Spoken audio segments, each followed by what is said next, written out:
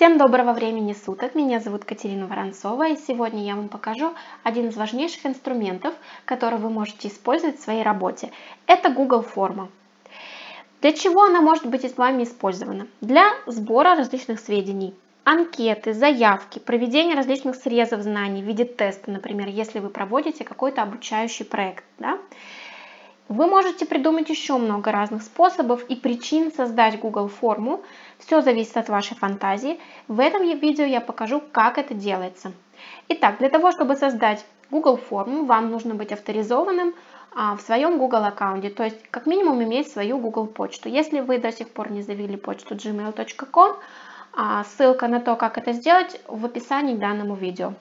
Итак, вы заходите в свой Google аккаунт и нажимаете на вот этот квадратик Google приложение. Нажимаем Google Диск. И здесь в верхнем левом углу видим кнопочку «Создать». Здесь мы можем создать Google документы, Google таблицы, Google презентации. Нажимаем на «Еще» и видим слово Google формы. Нажимаем Google формы. И вот открывается как раз эта панель, где мы можем с вами сделать эту форму, создать ее, обозвать как нам необходимо. Например, мы можем создать анкету для регистрации нового консультанта. Скажем, вы не хотите отправлять а, прямую ссылку на регистрацию в компании, а хотите как-то вот сделать это по-другому. Например, пишем анкета для регистрации нового покупателя Фаберлик. А, здесь можно добавить какое-нибудь описание и непосредственно приступать а, к созданию вопросов. Первое, например, нам необходимо фамилия и имя. Фио.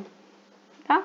Я пишу очень коротко, вы можете писать это более развернуто, так как вам это необходимо, так как вы считаете нужным. Моя цель сегодня показать просто все возможности, которые можно вот здесь вот использовать. А, смотрите, здесь есть варианты текст, да, строка, когда какой-то короткий текст. Как раз очень удобно, когда необходимо спросить фамилию, имя, отчество. Абзац, когда необходимо развернутый ответ. Один из списка – это вариант теста, да, если мы проводим какой-то стресс знаний а, в рамках обучающего проекта, очень удобно.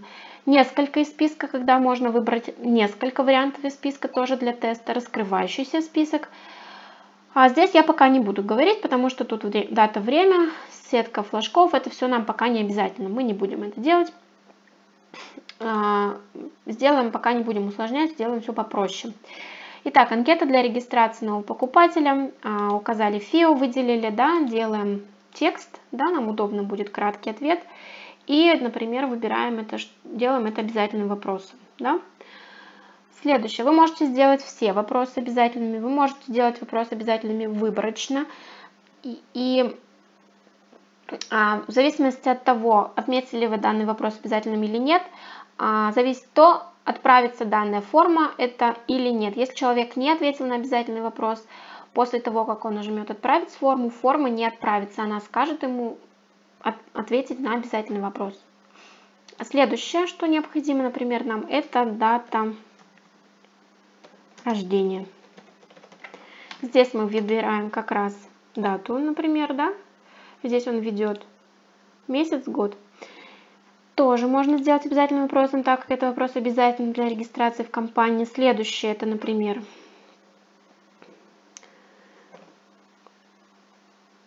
так, регион. Ладно, страна. Начнем со страны. Все-таки Фаберлик многонациональная у нас компания.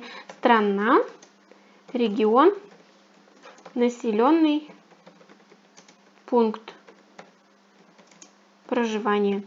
Да? Так, тоже у нас это текст.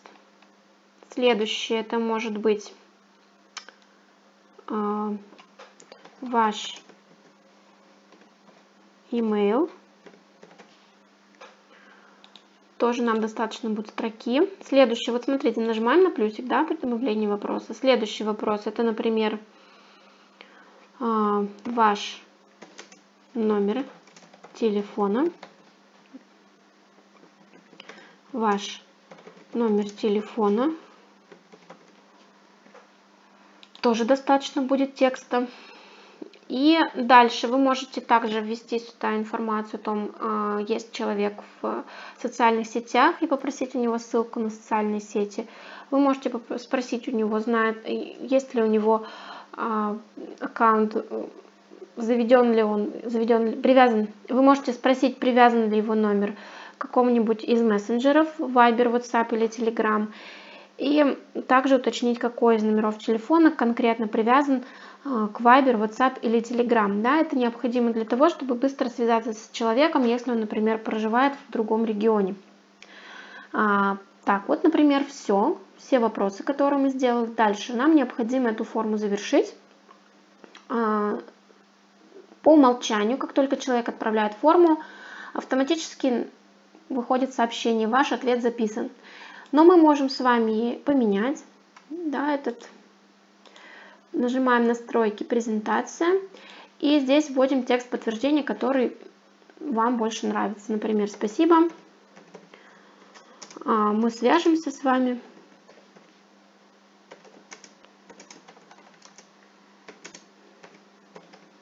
ближайшие 24 часа для уточнения данных. Сохраняем. Следующее, что необходимо знать, это где взять ссылку для того, чтобы отправить ее а, новому, а, чтобы отправить ее в социальные сети, либо куда-то еще, где вы ее размещаете. Для этого нажимаем кнопочку «Отправить». Здесь нажимаем на такой значок цепочки. И вот это ваша ссылка. Вы можете ее укоротить, нажав на короткий URL. И копируем. Все, ваша ссылка скопирована. Теперь вы можете ею пользоваться и отправлять ее туда, куда вам необходимо, в чаты, в группу ВКонтакте, использовать со своей социальной страницы и так далее. Указать ее в профиле в Инстаграме. В общем, возможностей очень много. То, как вы будете использовать данную Google форму, зависит только от, вашего, от вашей фантазии. И последнее, что я покажу, это то, что здесь можно менять цвета, можно менять оформление. Здесь можно выбрать какую-то тему, вечеринка, скажем, можем да, выбрать, выбрать цвета, которые вот здесь вот даются на выбор. И можно посмотреть, как будет выглядеть ваша форма а, для человека, который в нее зашел. Вот таким вот образом. А, это все. Если данное видео показалось вам полезным, ставьте палец вверх. До новых видео. Пока-пока.